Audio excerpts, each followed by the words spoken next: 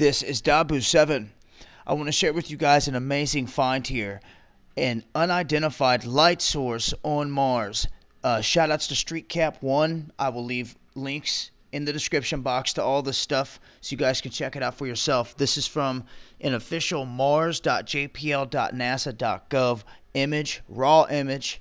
And if you zoom in, you can see for yourself 100% that there is some kind of light source coming from right here on the ridge line.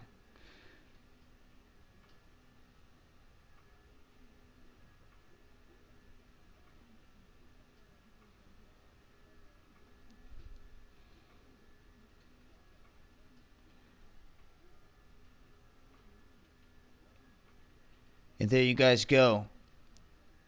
You can see it for yourself. Like I said, I'll leave a link so you guys can inspect the image. But sure enough, there is some kind of light source being emitted right there in this image on Mars.